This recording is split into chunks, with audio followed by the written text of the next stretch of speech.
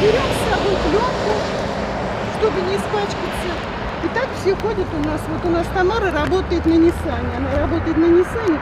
Вы представляете, вот ее огород, и вот ее работа. И что, она пойдет на автобус туда? Конечно, она перелезет. Ей нужен переход. Ребята работают вот здесь, в автосервисе, сторожами студенты приходят. Они все лазят через этот